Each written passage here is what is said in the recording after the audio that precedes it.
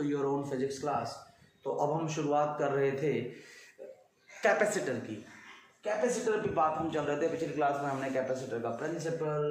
Capacitor के बारे में पढ़ा क्या अरेंजमेंट होता है क्या यूज़ है अब हमें सबसे पहले जो पढ़ना है जो जानना है वो है types of capacitor types of capacitor देखो टाइप्स ऑफ कैपेसिटर जो है वो दो तरीके से है एक तो ज्योमेट्री के बेस पे है एक ज्योमेट्री बेसिस पे कि आप अरेंजमेंट कैसा कर रहे हो और दूसरा मीडियम के बेस पे मीडियम बिटवीन प्लेट्स ये आपको अभी नहीं पढ़ना ये आपको हायर क्लासेस में पढ़ना है जो बीच के मीडियम पे डिपेंड करता है जिसके हिसाब से हम नाम को बीच के मीडियम के हिसाब से लेते हैं वो हमें बाद में पढ़ना है फिलहाल हमें ज्योमेट्री के बेस वाला पढ़ना है और जिसमें से हमारे पास एक है पैरेलल प्लेट एक हमारे पास पैरेलल प्लेट कैपेसिटर है दूसरा हमारे पास सिलेंड्रिकल कैपेसिटर है तीसरा हमारे पास स्फेरिकल कैपेसिटर है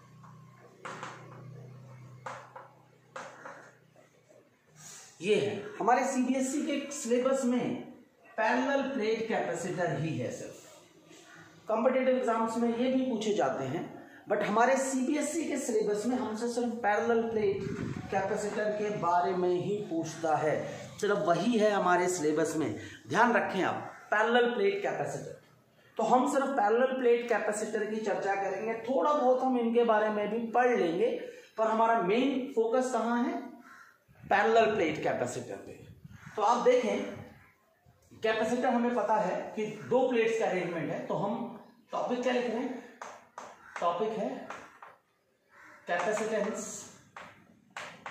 of parallel plate capacitor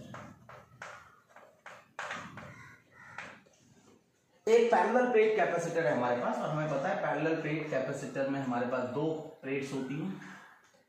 basically वो प्लेट्स ऐसे होती हैं ये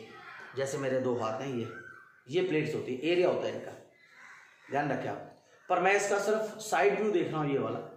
तो सिर्फ इसलिए मैंने लाइन ड्रॉ की है तो ये पैनल पेट कैपेसिटर है और मानता हूं कि इनके बीच का जो सेपरेशन है ना वो डी है और इनका जो एरिया है जैसे ये हाथ का एरिया ये वाला दिस इज ए और ध्यान रखना A should be very very larger than D separation से एरिया बहुत ज्यादा बड़ा होना चाहिए आप एज यूजल इसको पॉजिटिव चार्ज दे रहे हो इसको ग्राउंड कर रहे हो जो आपने पढ़ा था कैपेसिटर बनाते समय ये अब हमने गॉज लॉ में पढ़ा था कि electric field electric field between two plates जब हमने गॉस थ्योरम की एप्लीकेशन पढ़ी थी कॉम्बिनेशन ऑफ शीट्स के बारे में पढ़ा था वीडियो देख लें अगर आपने नहीं देखा तो कॉम्बिनेशन ऑफ शीट्स के बारे में पढ़ा था अगर एक के ऊपर पॉजिटिव चार्ज हो एक की डेंसिटी पॉजिटिव हो एक की चार्ज डेंसिटी नेगेटिव हो तो इनके बीच का जो इलेक्ट्रिक फील्ड होता है E that is sigma by epsilon not अब हमने इलेक्ट्रिक फील्ड की तो बात यहां पर सिग्मा की तो बात नहीं की थी पता है हमें sigma equal to Q by होता है ये भी पता है तो मैं क्या पुट कर दूंगा क्यू अपॉन ए एक्सल अब आप देखिए हमने पढ़ा था E equal to D V by D R minus पढ़ा था इससे आप क्या पुट कर सकते हो इससे आप चाहो तो v equal to E into D एक रिलेशन निकाल सकते हो डी आर और डी डी आर का मतलब उस डिस्टेंस यहां भी डी का मतलब डिस्टेंस बहुत छोटा है फिर ये भी पढ़ा हमने कि Q equal to C V होता है ये सारी वैल्यूज पुट कर लो किसके अंदर इसके अंदर तो यहां देखें आप ई e की जगह ई e की जगह वी बाई डी ई की जगह that is V upon D Q Q means C V divided by F epsilon So, what is the value of C? C will be V, V cancel out, A epsilon naught divided by 2. This is the capacitance of a parallel plate capacitor. Screen को pause करें इसको write down करें कि ये parallel plate capacitor की capacitance का expression है note करें आप देखें अगर मैं बात करूं फेज पैरेलल फेज कैपेसिटर की कैपेसिटेंस किन किन फैक्टर्स पे डिपेंड करता है तो याद रखना जो कैपेसिटेंस है कैपेसिटेंस डिपेंड्स ऑन आप देखें C equal to A epsilon not by D expression ध्यान में रखें आप ये तो C डिपेंड्स ऑन पहला फैक्टर क्या है एरिया ऑफ प्लेट्स जितना ज्यादा एरिया कैपेसिटेंस उतना ज्यादा दूसरी बात separation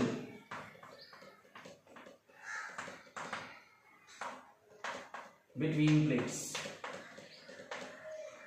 inversely proportional है पास होगा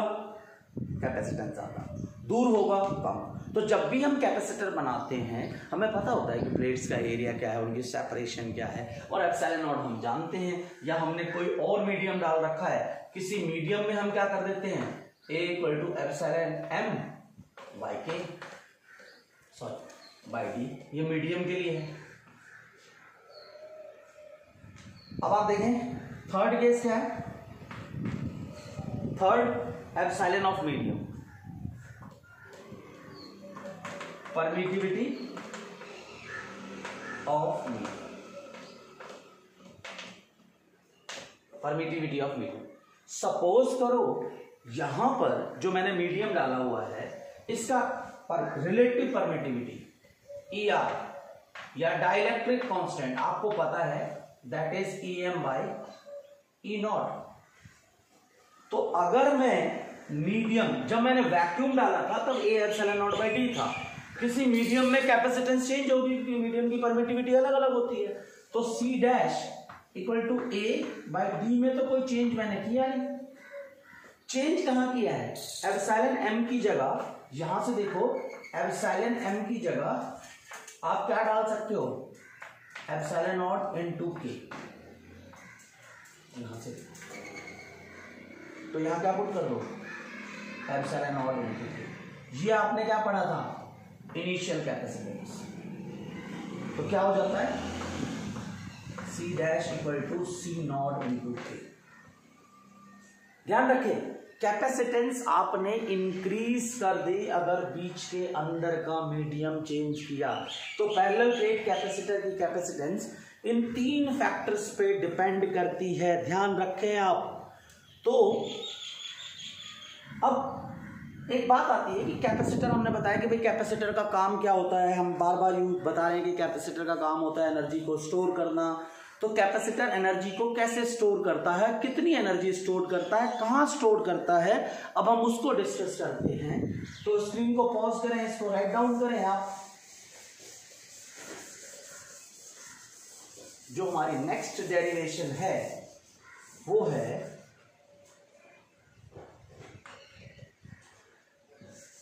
energy store in a capacitor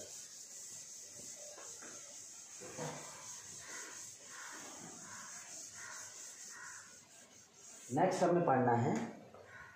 क्या पढ़ना है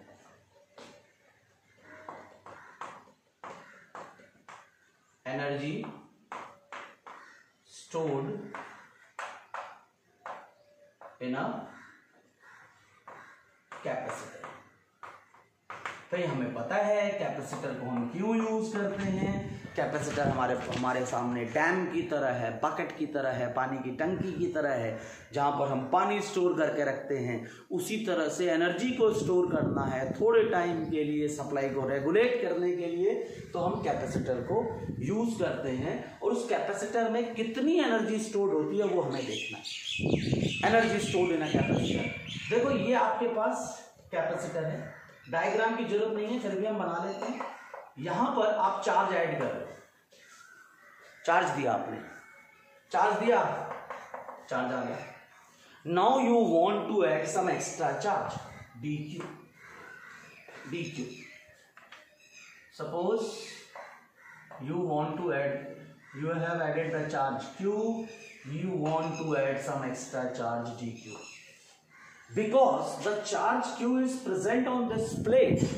it will repel this charge d electric field generate ho jayegi iski and you have to do a work and that work will be stored in a form of potential energy और energy in a capacitor हम शुरू से पढ़ते आ रहे हैं हमने basic concept पढ़ा है कि जो वर्क डन हम करते हैं और वर्क डन हम कहाँ करते हैं कंजर्वेटिव फोर्स में वो हमारे पास पोटेंशियल एनर्जी में स्टोर्ड हो जाता है ये चौक है इसको मैं थोड़ा सा राइज करूँ इसकी हाइट को यहाँ था अगर मैं थोड़ा और राइज करूँ और अब छोड़ूँ तो ये वापस आएगा क्योंकि इसके पास एनर्जी स्टोर्ड हुई इस चौक को मैं यहाँ के बदले यहाँ लेके जाऊँ मैंने वर्क दोनों केस में किया है पर यहाँ पर अगेंस्ट फ्रिक्शन किया है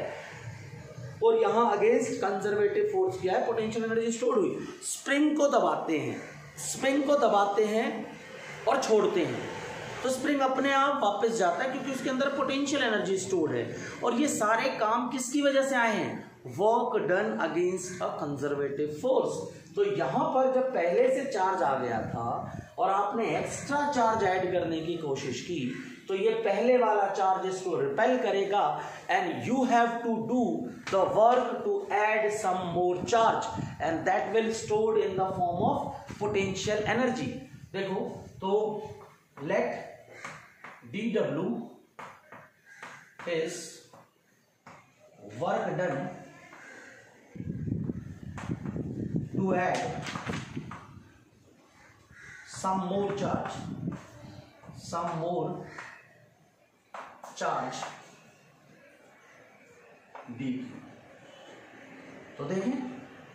D W equal to V D Q हमने पढ़ा हुआ है work done equal to charge into potential अगर ये कैपेसिटर है तो पॉजिटिव चार्ज देते ही यहां नेगेटिव डेवलप हो जाएगा और उसकी capacitance C equal to Q by V develop हो जाएगी तो वहां से इस जगह से अगर आप चाहो तो आप v की जगह q बाय सी लिख सकते हो चार्ज कितना दिया था आपने शुरू में स्मॉल q तो स्मॉल q बाय v लिख सकते हो sorry small q by C देखें अगर आपने इसको चार्ज q दिया यहां पर पोटेंशियल v डेवलप हुआ तो इसकी कैपेसिटी कितनी होगी q by V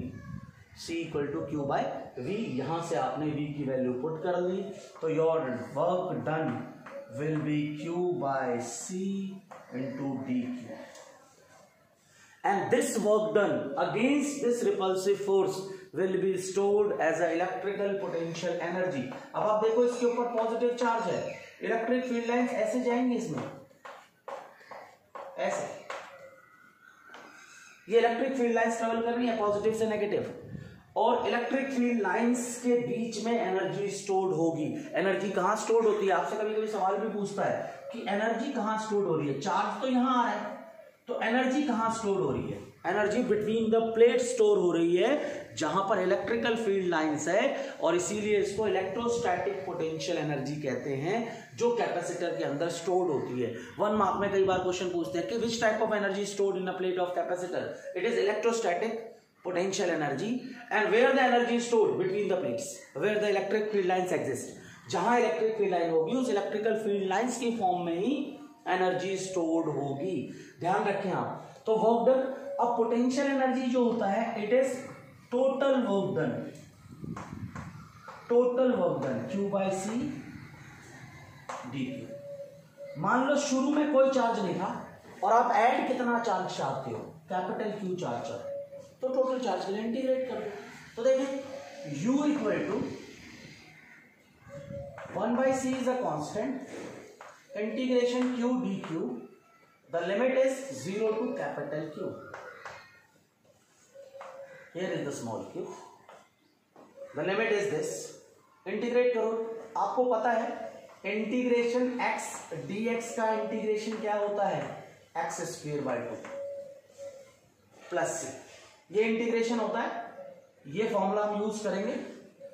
यहां पर तो वन बाई सी तो बाहर और यहां Q square by two because this is a bounded integral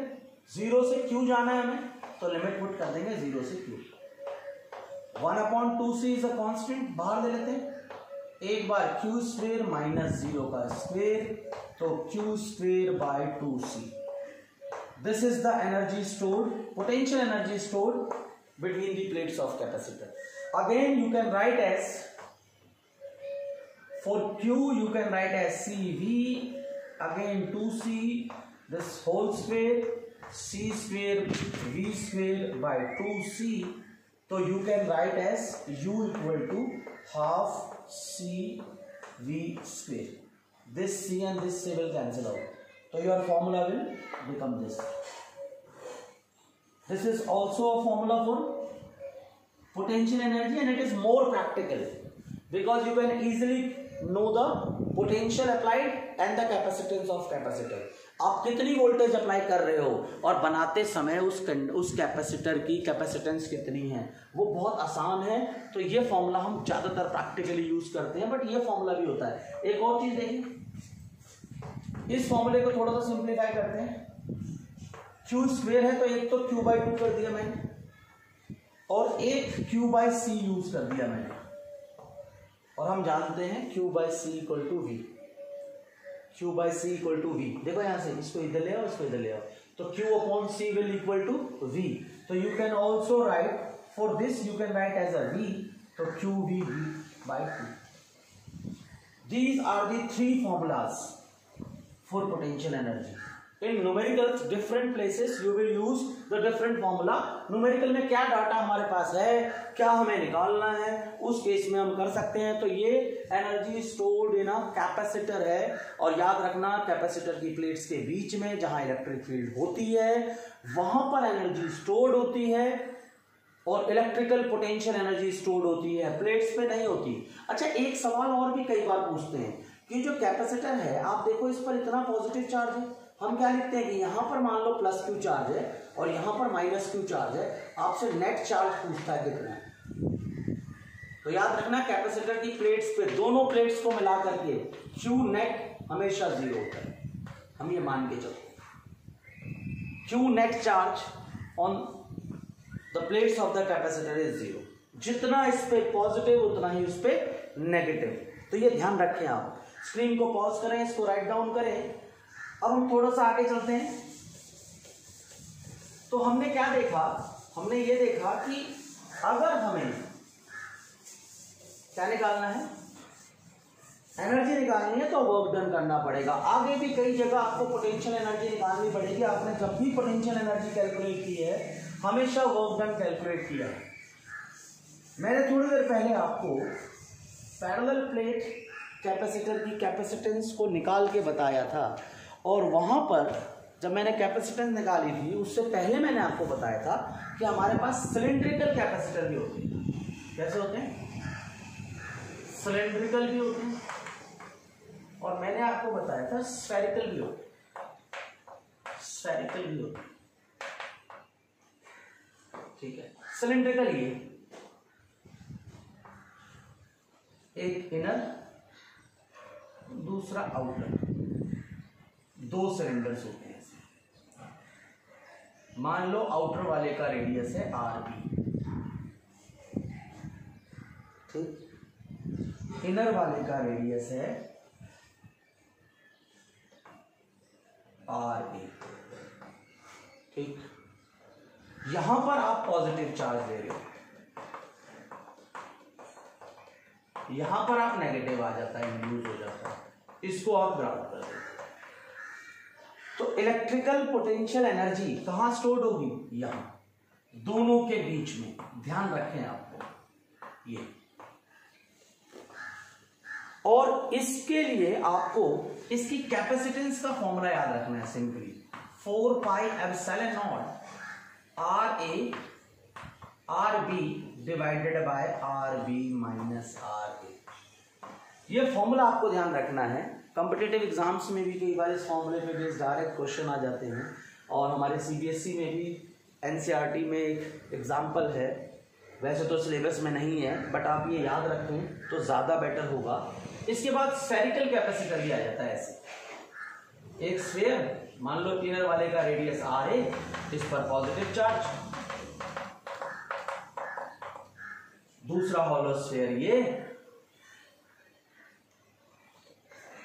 इसका रेडियस आर बी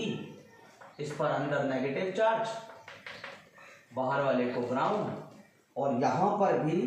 जो इलेक्ट्रोस्टैटिक पोटेंशियल एनर्जी स्टोर होगी वो इन्हीं दो प्लेट्स के बीच में होगी और इसकी कैपेसिटेंस का फॉर्मूला अगर आपको लिखना है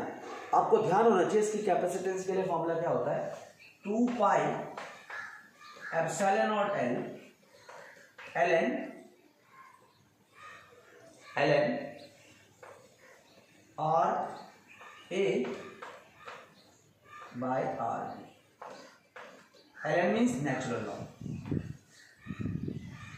और आप सिंपल तरीके से इनको कैलकुलेट भी कर सकते हो सिंपल तरीका है कैलकुलेट करने का कैलकुलेशन आपके कोर्स में नहीं है पर ध्यान रखें कैलकुलेट कैसे करते हैं मैंने आपको बताया था कि Q by V equal to C simple Q by C equal to देखो यहाँ पर ना दो मैं दोनों लिए अलग अलग करता हूँ यहाँ पर देखो ये सिलेंड्रिकल ये, ये यहाँ पर इन दोनों पॉइंट्स के बीच का पोटेंशियल डिफरेंस है potential difference this is the potential difference यहाँ और यहाँ के बीच का पोटेंशियल डिफरेंस है इस प्लेट और इस प्लेट के बीच में उसी पोटेंशियल डिफरेंस की वजह से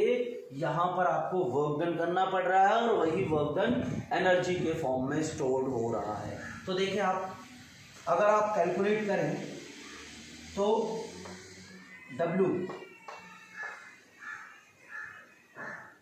या आप करें V इंटू डी इस ये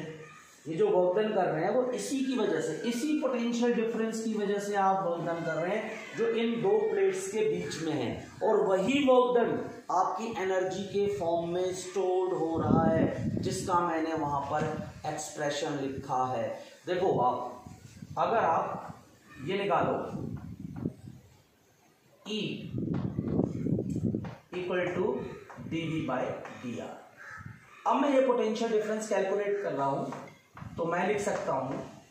एक formula E dot D R equal to V potential difference D भी लिख दो वी की जगह डी यहां पर पॉजिटिव है यहां नेगेटिव है ये हाई पोटेंशियल है लो और ये लो तो आप जब यहां से लो से हाई की तरफ जाओगे तो आप पे फोर्स लगेगी इधर डिस्प्लेसमेंट आपका इस डायरेक्शन में है फोर्स आपका इस डायरेक्शन में है तो थीटा विल बी 180 डिग्री तो what will be the value of DV DV will be E D R cos of 180 degree and it will be minus E D R तो चाहे आप इसके लिए करो चाहे इसके लिए करो आपका डीवी यही होगा स्ट्रीम को पॉज करें इसको राइट डाउन करें और मैं इसी को दोबारा लिख रहा हूं देखें आप तो मैंने आपको बताया कि आप चाहे कुछ भी लिखो आप चाहे आप स्फेरिकल लिखो चाहे आप सिलेंड्रिकल तो जो आपका डी वी होगा it will be minus E D R अब देखो मैं दोनों के लिए अलग अलग एक ही साथ कर देता हूं यहाँ स्फीयर के लिए यहां कर देता हूं और सिलेंडर के लिए कर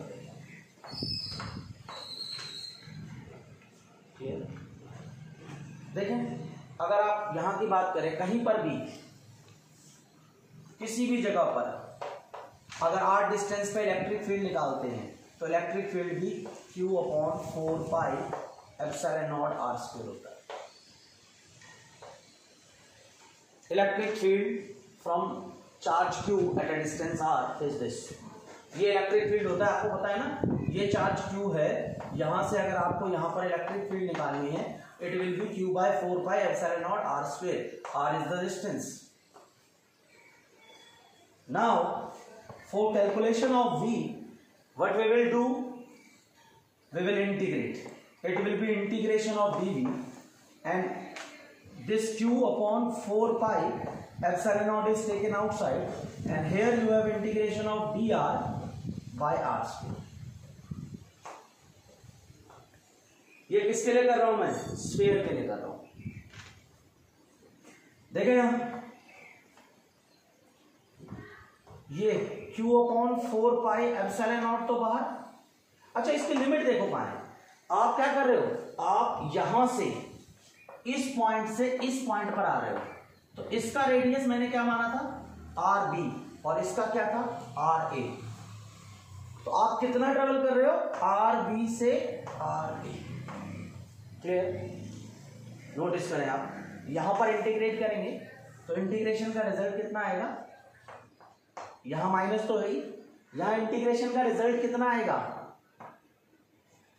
minus one by R and the limit will be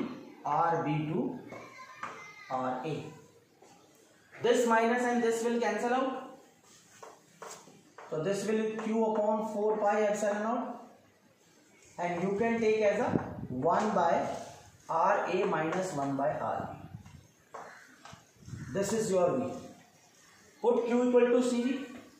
Here you can simplify Q by 4 pi epsilon naught. This will be RB minus RA divided by RB into R. Now put Q equal to CV. If you put Q equal to CV, then you can write here CV. this v and this v will cancel out so c will be 4 pi epsilon naught this rb r a into rb and this term will be in denominator this is the capacitance of a spherical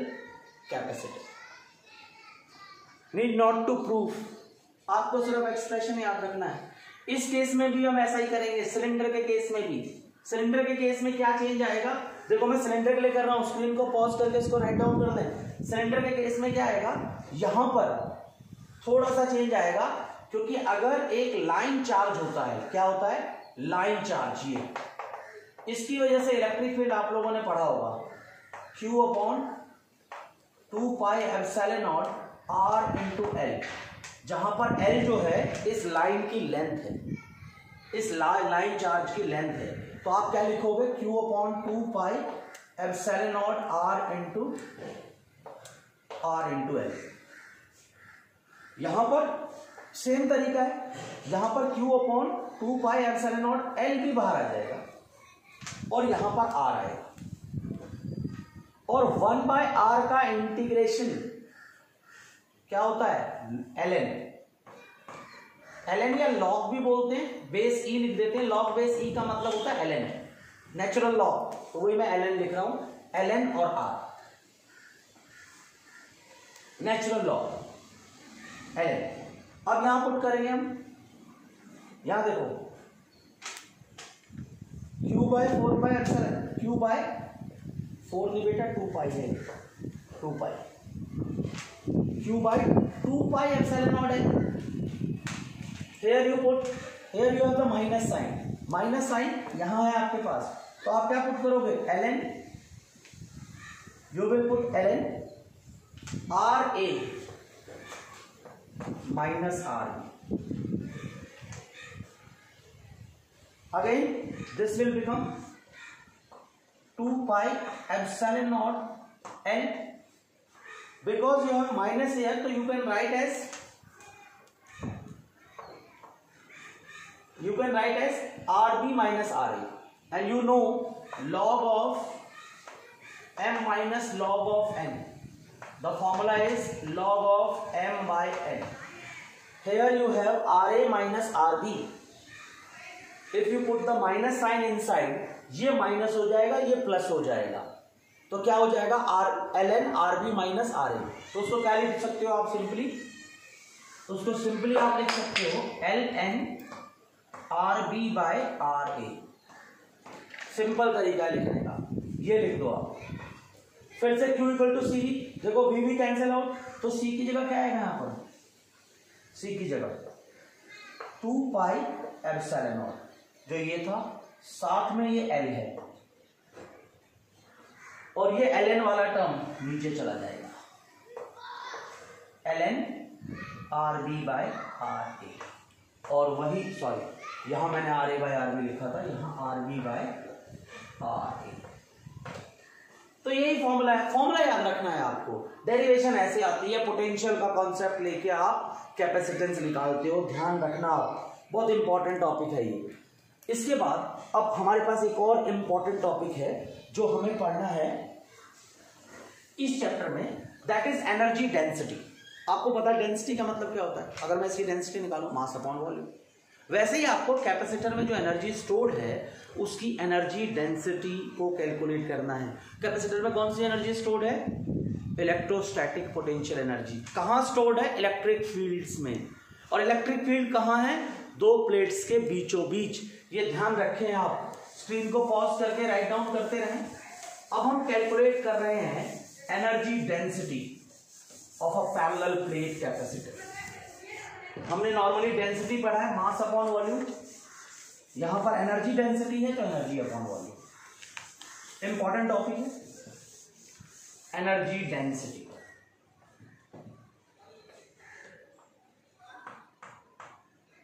energy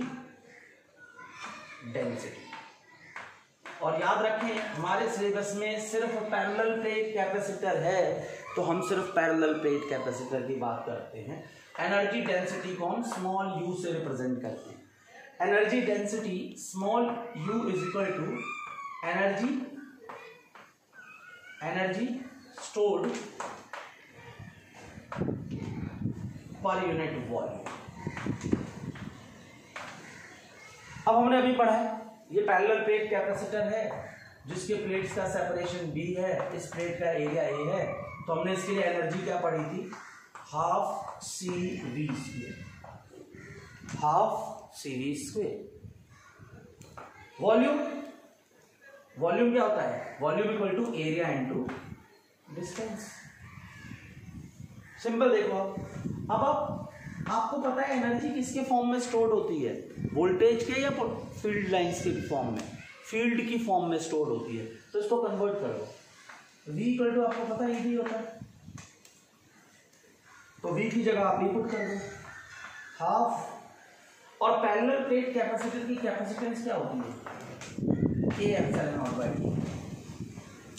ये capacitance है parallel plate capacitor की A F epsilon naught by D clear तो देखें ये put कर देते हैं C की जगह A F epsilon naught by D B की जगह ई e डी जिसका whole's square divided by simplify करो इसको हाफ ए एप्सिलॉन नॉट ऊपर क्या आएगा E square D square upon में यहां डी और यहां ए ये डी स्क्वेयर इससे कैंसिल आउट ये ए इससे cancel out this is U half epsilon naught E square ये एनर्जी स्टोर है energy stored per unit volume. This is the energy density of a parallel plate capacitor. ये ध्यान रखिए वैसे भी आपने देखा कैपेसिटेंस तो इसमें है किसी भी कैपेसिटर में अप्लाई कर सकते हो जो इलेक्ट्रिक फील्ड है उसका स्क्वेयर करके उसको परमिटिविटी ऑफ मीडियम से मल्टीप्लाई करके हाफ कर दो तो this is the expression for energy density of a parallel plate capacitor तो आई होप कि आपको आज की क्लास में जो पढ़ाया वो समझ में आया होगा कोई भी प्रॉब्लम कोई भी डाउट है तो कमेंट सेक्शन में कमेंट करें ज़रूर आपके कमेंट का आंसर दिया जाएगा थैंक यू सो मच